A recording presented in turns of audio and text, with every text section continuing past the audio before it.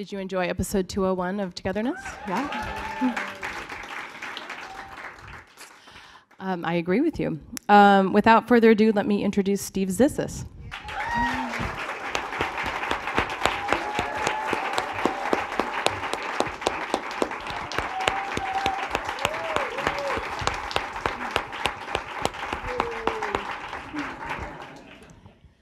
So, welcome. Um, Thank you. We're happy to have you here. I'm sure you have a lot of fans in the room. Um, so before we move forward into granular questions, there's an elephant we must address, which is, as of now, there will not be a season three of Togetherness, as we found out last week. I know. You didn't know this, but this is the seat of the Togetherness season three protest club. So thank you for coming.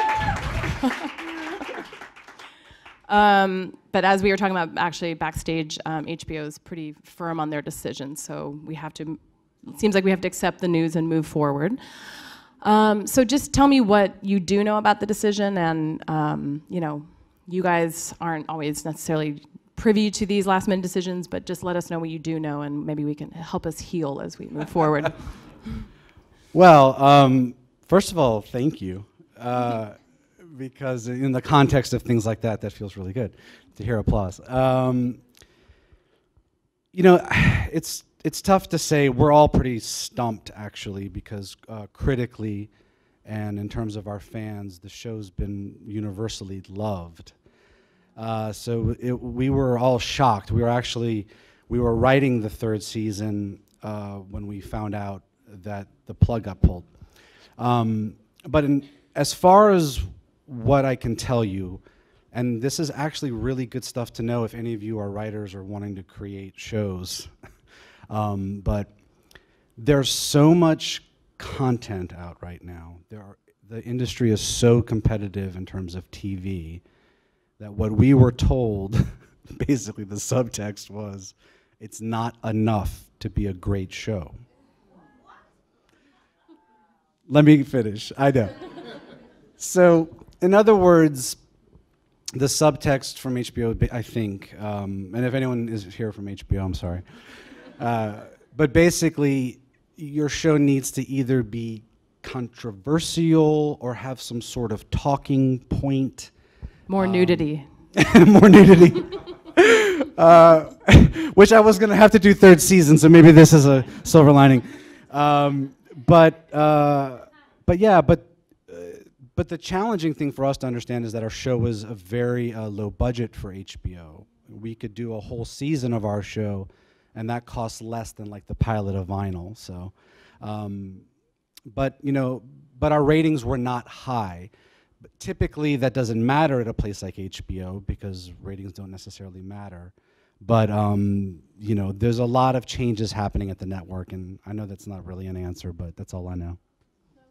That's what goes on, and also I think international is a big piece of business. You think about their biggest shows, Game of Thrones, and it's one of the biggest shows in the world. So I have, I'm not an expert, but I have to assume that that's part of, you know, how much can this show perpetuate around the world. So that could be.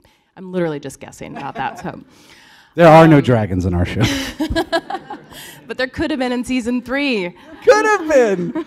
Maybe like a friendly imaginary dragon, you know? Well, in the Dune revival that you guys did, which you really never got to perform, uh, you have to watch season two to fully appreciate the Dune reference. Um, okay, well, we'll just let that settle while we continue on to happier topics, which is how did you discover you wanted to be an actor? Mm. That's a good question.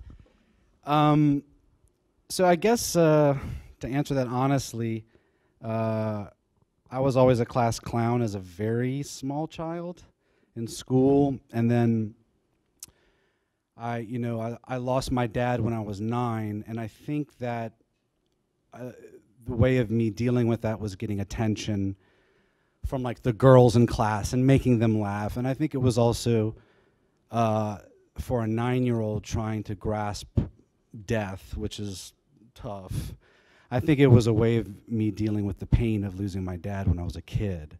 So I went to comedy and making people laugh. Um, so I kind of was like a natural sort of clown in the class. And then eventually, once I got to high school, um, uh, I was pretty disruptive in class, and I was always late and always making jokes. And then I think a guidance counselor was like, "I think you need to go out for one of the plays."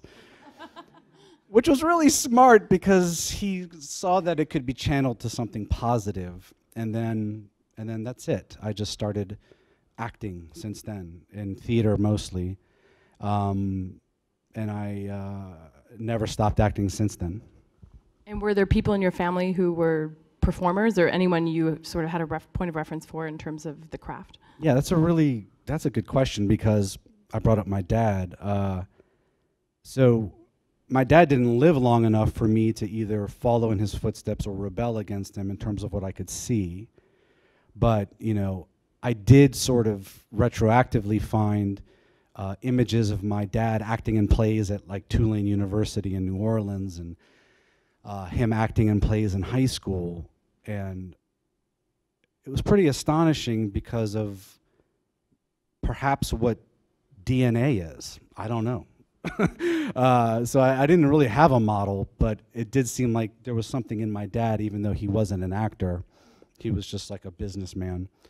There was definitely something inside of my dad too. So you never know. And your mom was encouraging of this pursuit. yeah, I mean, uh, I uh, if any of you've seen my Big Fat Greek Wedding. I just watched it this weekend, the first one. I haven't seen the second one. I, am referencing the first, but the whole the whole universe. Uh, I come from a Greek American family, so uh, you know, three out of the four of my grandparents were immigrants. So when you come up in that kind of an immigrant culture, you basically your parents want you to be a doctor or a lawyer. so that's kind of my mom wanted me to be a doctor, so you know, being a lawyer wasn't I'm being a I'm sorry, being an actor wasn't necessarily one of the things she was pushing. um, but she's been supportive all the way through.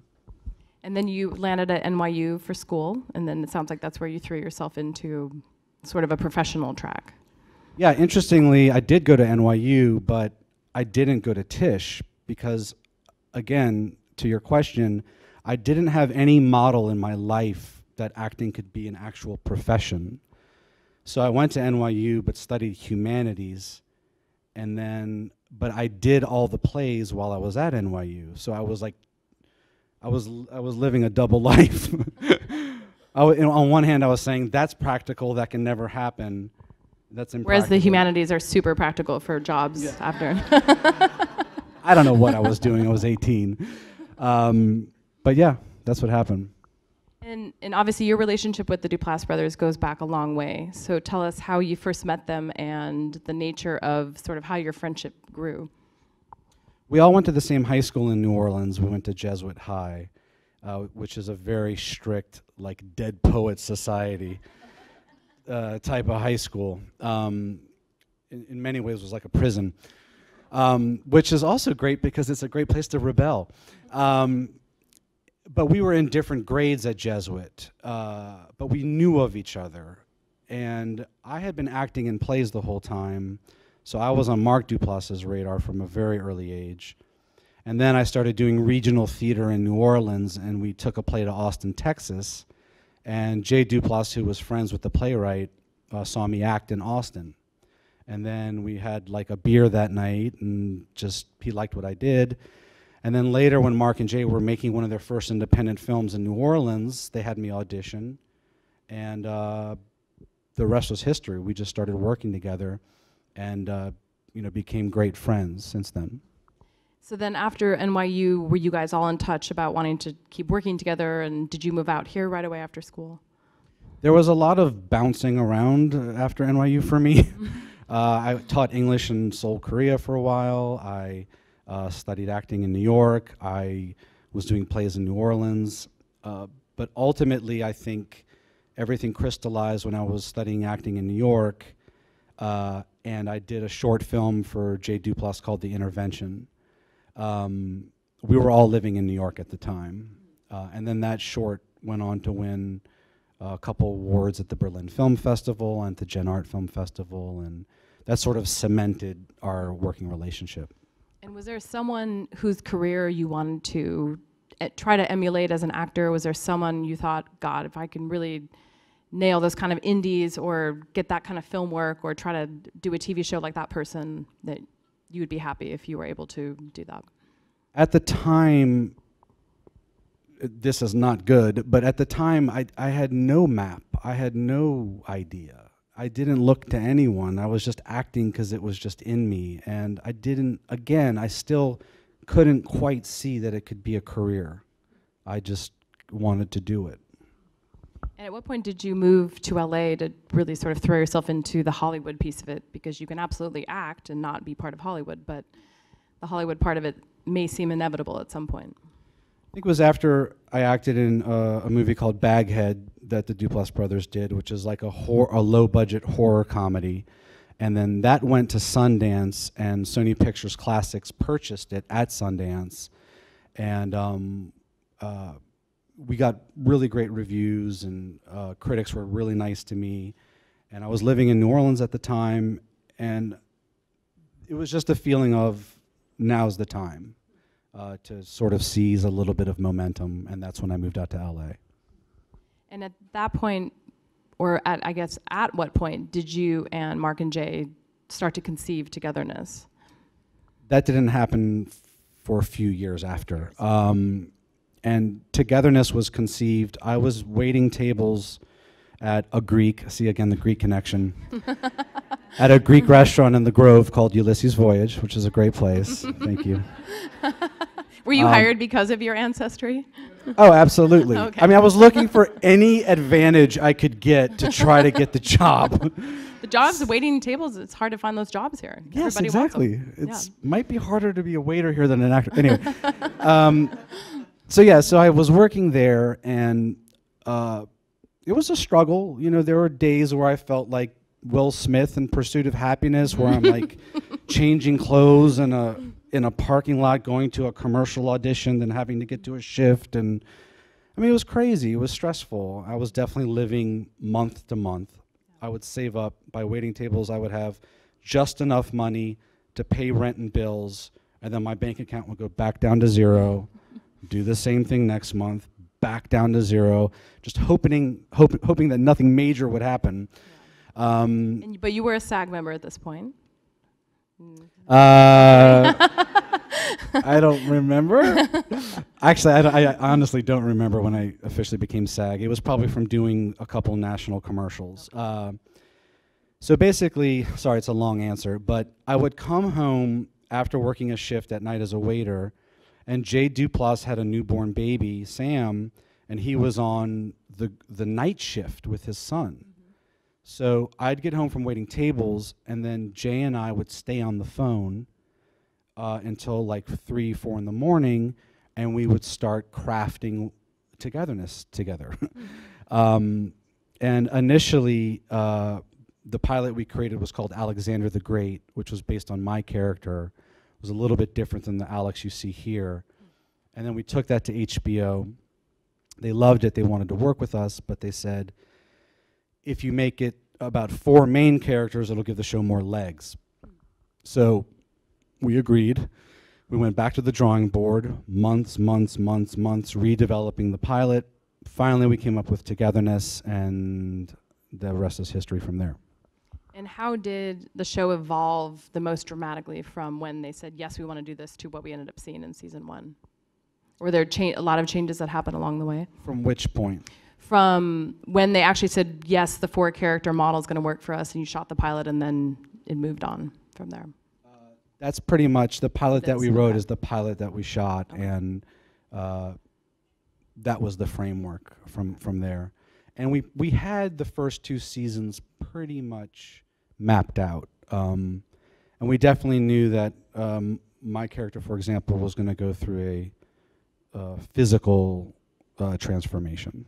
And that physical transformation, was that a, a linear transformation from what you were experiencing in your real life? Or was that something that, okay, we want you to show up in season one, be, you know, not super fit necessarily? And we want, and I'm not saying that you weren't, I'm just saying, you know, that was the perception. No, no, please speak frankly. But was that like intentionally we wanted to see you go from that sad guy on the couch in, in episode one until the sort of guy with swagger we see in 201? Yes, for sure. That was, and that had to be designed because I had to, you know, be large and in charge in the pilot on season one, and then drop like over 30 pounds over Wow. the over the course of season one and then the beginning of season two. Right. So um, I did have help to do that.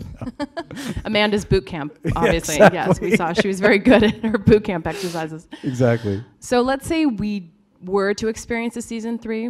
Where do you see the characters have gone in that Oh, this is alternate universe? heartbreaking. I know. Well, we so I don't want to spoil the end of season two, but it is actually when I watched the finale because I watched it ahead. It felt like an actual. It felt like a seamless ending. It felt like a nice ending for everyone's characters. But I did wonder. It felt. I did have a bad feeling when I saw it because I thought this does feel like an end episode. But if there were a season three, I'm so curious where they would have gone because the show did feel like it almost had like a natural close. So where do you think? What do you think would have happened? I don't know. I'm gonna unfortunately I'm gonna assume that everyone will watch all the way to the end of season two. True. Yes. I don't want to discourage you guys from so not I watching. I Yeah. probably don't want to answer that. okay. Fine. Um, but needless to say, season three would have been uh, very satisfying for fans. That's all I can say, good. Good answer. based on what I've the feedback I've gotten. Now, moving forward, where where are you throwing your energy now? Are you going are you continuing to write? Do you want to segue more into film? I know you have a film with Will Ferrell coming up, which is never a bad thing. That's always a good. I'm Good going resume back to builder. I'm going back to the Greek restaurant and begging for my for my job back. Please. Greek wedding part three that could be on the horizon. Absolutely. um, this is a good question, and um, if anyone is aspiring actor or writer here, this is a great question. Um, so, uh, what I had been doing on my own is developing another TV show uh, for about five months now. So, uh, and right now I'm actually about to start shopping it around to producers. So, the the best advice, of course, and this isn't brilliant, but is to just com- always be self-generating. You know, always be generating your own stuff, um, because if you wait around and it's not going to happen and no one's going to bring it to you. Also, you know, auditioning is great. It's really challenging, but and I've ran into this very recently, but I'll go audition for a part and then later I'll find out who got the part. And recently I, I auditioned for something and I found out that Christoph Waltz got it. and I'm just like, really? like, just like, can I just stay home and play with my dog? like, I this mean, is a feature role, I'm assuming. yeah. Okay. Like Yeah. just just tell me that homeboy Christoph is like in the running and I'll just stay home. Like there's plenty of stuff I can do. Don't make me get nervous, go to an audition against like a two-time academy. Anyway, um, Well, have you have you found your stature among casting directors has risen after the show? Obviously, people know you now and they've they've watched the show and they like your work. But so the show can be nothing but a boon for jobs moving forward. No, for sure. The show has been huge. You know, even though our audience was small, a lot of our audience were industry people, and they've loved the show. Thank God. So a lot of casting directors have seen me now. Um, a lot of huge industry people are obsessed with our show. Uh, J.J. Abrams was like emailing us every Sunday, Wow. telling us how much he loved our show. You're like, show me the love, dude. Yeah. You know. Um, Rian Johnson, who's directing the next Star Wars, is obsessed with our show. So Wow. it's just like a Star Wars connection. There's a Star. Wars theme. yeah. Uh, so yeah, I mean, people, yeah, it's. I think there's a lot of relatability. It's For it's- sure. It's not only a family show, but it is, for better or worse, a very LA show. So for people who live here and exist in this bizarre world in which we live, I think it's very resonant. this world is bizarre. It's very bizarre.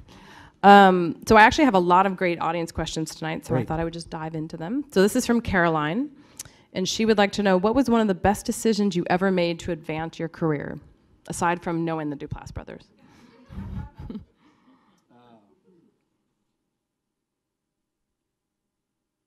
Well, the first answer is start acting. Uh, doing doing if you if if you don't have access to TV or film is to do theater immediately and do as much theater as you can because you never know who's going to see you doing it. Um, it's also the best place to build presence and gravitas and being comfortable in your own skin. Uh, but in terms of advancing my career, oh gosh, I don't know. I, I would al- I would have to say self-creating togetherness with Jay Duplass.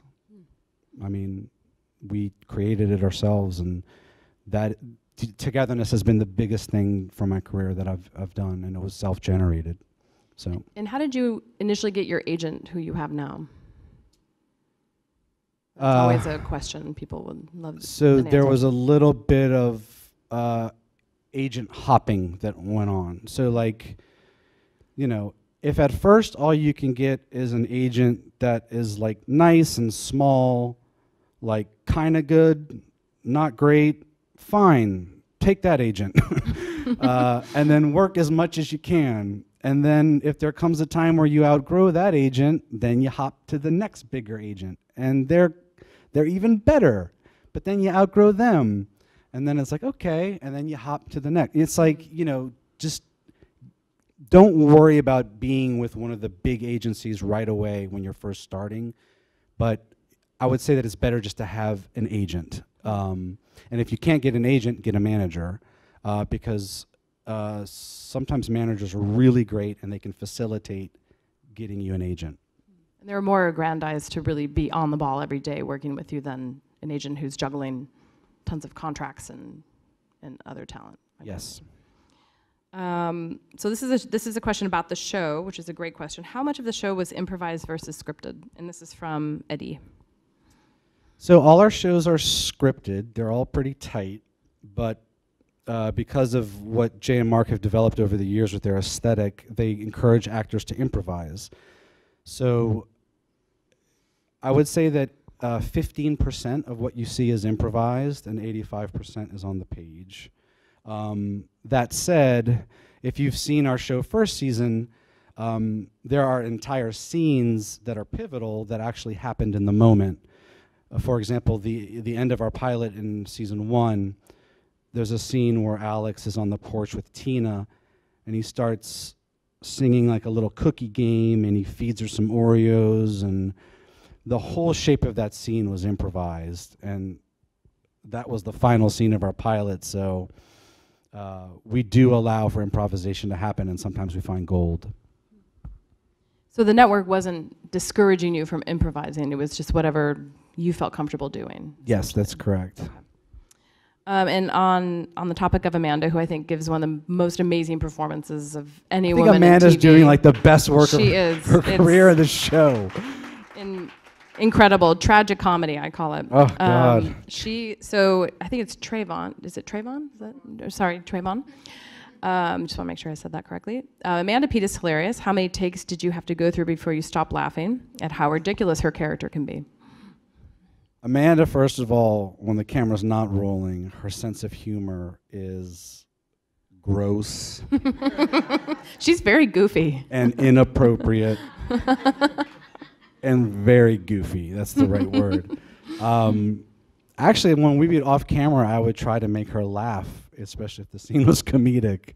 Um, my goal would be to just get her to break. Um, and there's another scene from season one where I'm hanging out with Amanda and I'm talking about Peter Gallagher's character. And I start talking about his little dog like he's a James Bond villain. Like that was all improvised, and she's actually laughing there. so um, Amanda's fantastic. I love her. She's And great. She's married to David Benioff, one of the creators of Game of Thrones. So maybe she has to cut through the serious like dragon talk at home with some For goofs. sure. Yeah. For sure. Oh, and he also wanted to say that he loves that togetherness can make him cry within 30 minutes, cry and laugh within 30 minutes, which Oh, is a very you. ultimate much. compliment. Thank you. Um, this is a- another great question from Emily. She would like to know what is it like to play an, to be an actor playing an actor. And I think it's a great that's a great question because we see a lot of stories about Hollywood and the actor experience, and some of them don't really ring true. And I feel like yours rings very true from what little I know about the crazy life you guys lead. What was that like for you? Uh, it's a little weird. Uh, it's a little meta. Um, I mean, it felt very natural, But I guess the where it could possibly get challenging, and we do this in second season, but we show Alex performing as an actor. So it's always tricky territory because as audience members, when we watch Alex performing as an actor, we might be inclined to judge how good he is as an actor within. I can't even keep up with this. This is very meta. Um, but we decided to show him performing. I guess Mark and Jay just had confidence. Because we don't really know if he has any skills in season one. Like we don't really see him perform. We just know he's aspiring. Yeah, we just hear like that his friends think he's great, which is really sweet. Um, and in season two, he's doing. Oh, y'all saw the first episode. Okay, so you see him doing the most absurd stuff, but he's like really committed. He's good. He's really good. Um, I don't know how to answer the question. It's. Uh, I guess overall, it felt pretty easy and in flow. Well, it sort of segues nicely to the next question from Stacy, who asks, "How much of your own ex- life experience was implemented in the writing of the show?" And I have to imagine you drew a lot from the, the actor side of your life and implementing those moments, which are, you know, sad and funny all at once. Yeah, for sure. I mean, in you know in the first season when I'm extra large and in charge, I talk about beautiful skinny LA people looking at me like I'm a whale and they want to harpoon me. um, I mean, yeah. I mean, you know, you have of course you have body images when you're an actor, possibly if you're insecure like me. Uh, uh, and then um, of course, there's other aspects about the struggle and the fight and the insecurity and the constant uh, feeling lost. And um, is there going to be light at the end of the tunnel? Do I keep trying? Do I give up? All these types of elements uh, definitely factored into the show from my real life. And would you say an actor's greatest artillery against the mean parts of the business um, maybe is to write? Because at least you're packaging yourself as I'm not just this person on camera. I'm actually I've created this story in which I can play, which I can play myself essentially. Because otherwise, you don't have as much control over your own narrative as a performer. Yeah, um, I think especially nowadays, like Aziz Ansari did it with Master of None, uh, which is a hugely popular, well-received show on Netflix. You know, for sure, write to your strengths. If you're an actor and a writer, create something that plays to your strengths. Why wouldn't you? That that's the best thing you can do. Um, you know, I mean, if I'm totally honest, the show isn't like that autobiographical in terms of uh, in terms of like the real me, but there's certainly elements that are there that can then be uh, heightened, and um, you're always dealing with the imaginary circumstances you're in as an actor anyway. So that's taking place. And what would you say are the people or the things or the shows that most inspire you now? When you uh, you mentioned Aziz's show, his his show is very much in the the vein of what you guys were doing, sort of drawing from real life, but also being very raw and real. Are there other shows or performers who you look to and you think, wow, that's I'm glad to be working at a time when that person's working? Um, my favorite show right now is really weird. It's called Baskets. It's on FX. Zach Galifianakis. Uh, the reason why I love Baskets right now is it's really free. Um, I don't even think the show's perfect. Like I think Zach's actually not great all the time, and he like misses the mark and the tone. Very strange tone. yeah, there's like it's a lot of tone mixing, and there are some missteps. But what I love about it is that it does have that. So it's completely free, and it's you can tell that it's a pure vision. Um, so I'm I'm in. I love it. I love baskets. That's my show right now. A lot of a lot of people agree with you. And would you say there's a dream project that you would love to attempt? Is there a story that maybe 10, 15 years ago you wanted to tell that you put on the back burner or a story you wanted to write or something that you had always hoped, God, I really want to be able to tell that someday? Is there something on your on your computer that you're waiting to finish? Well, there's a the main things, and I mean, I guess I'll just speak personally now. I mean, y'all can leave whenever you want.